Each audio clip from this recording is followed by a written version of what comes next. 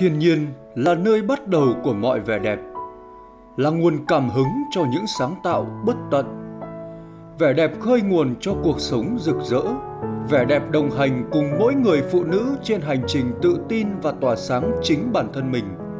Đài Linh đến với cái đẹp như một mối nhân duyên tình cờ, xuất phát từ niềm đam mê, từ tình yêu thuần khiết, giản dị nhất, thấu hiểu mong muốn được đẹp hơn, tự tin hơn, hạnh phúc hơn của mỗi người phụ nữ – lựa chọn con đường mang đến vẻ đẹp đích thực từ những sản phẩm chất lượng, đẳng cấp, lấy chữ tín hàng đầu và mọi hoạt động đều hướng đến lợi ích cho khách hàng.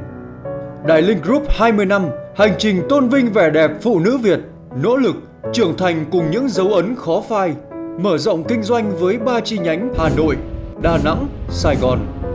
Hệ thống hơn 300 nhân sự tập trung, hơn 20 đối tác, nhãn hàng từ các châu lục khác nhau hơn 200 nhà phân phối khắp toàn quốc. Trên hành trình phát triển đó, luôn có sự hiện diện và đồng hành từ các tài sản lớn nhất, quan trọng nhất của Đài Linh, đó chính là con người, khách hàng, sản phẩm và công nghệ.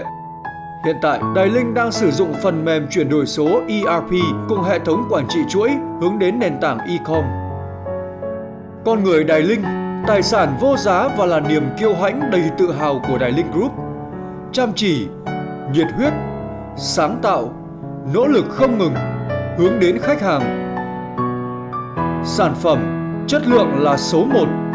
Đài Linh luôn nỗ lực để tốt hơn, không ngừng đổi mới, sáng tạo để mang đến những sản phẩm chăm sóc da chất lượng, đa dạng, mới lạ từ các thương hiệu hàng đầu thế giới. Hướng đến tương lai bền vững, làm đẹp song hành cùng môi trường xanh. Nhãn hàng Numi, mỹ phẩm thuần chay, đẹp hơn mỗi ngày – Made in Spain, nhãn hàng Corinne de Femme, bí quyết chăm sóc cơ thể từ thiên nhiên Pháp, Made in France. Tôi kinh doanh với cái phương châm là chất lượng là số 1.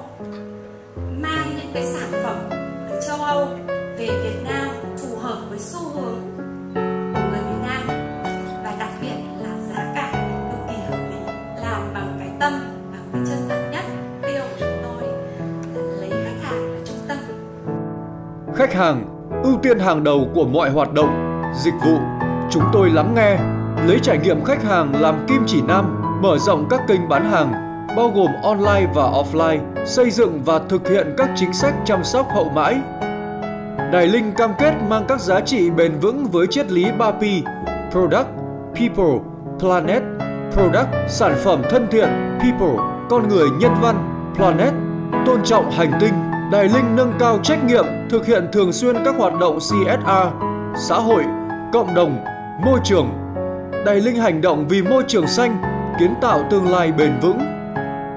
Đài Linh chia sẻ trách nhiệm, lan tỏa những điều tốt đẹp tới cộng đồng, xã hội hướng đến các đối tượng yếu thế là phụ nữ, trẻ em và những gia đình có hoàn cảnh vô cùng khó khăn. 2022-2023, Đài Linh xây dựng hệ sinh thái khép kín với các trải nghiệm đa kênh, đa ngành, đa lĩnh vực dịch vụ, từ các hệ thống spa, cửa hàng mẹ bé, nhà thuốc cho đến chính ngôi nhà thân yêu của bạn.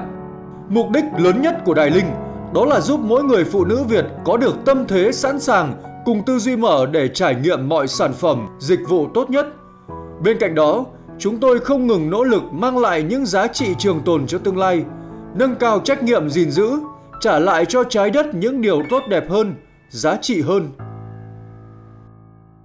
nhân dịp à, sinh nhật Đái Linh 20 tuổi, à, tôi xin à, gửi lời cảm ơn, lời tri ân sâu sắc nhất đến toàn thể các quý vị khách quý, à, những người bạn, những à, à khách hàng thân thiết là đại lý, nhà phân phối và những đối tác trong và ngoài nước. À, đặc biệt là đội ngũ Đài Linh, à, những người đã đồng hành cùng với Đài Linh trong suốt thời gian qua tạo nên một Đài Linh vừa khỏe về lượng và về mạnh về chất như ngày hôm nay. À, bối cảnh mà nền kinh tế à, tri thức và có quá nhiều sự biến động. Ừ.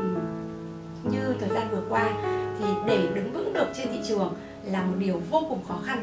Nhưng Đài Linh không những đứng vững được mà còn đi được và đã tạo những cái bước nhảy hoàn toàn ngoạn mực. À, để làm được điều đó thì đúng là người ta nói rằng à, một cây làm chẳng cây non à, đã nhờ vào tất cả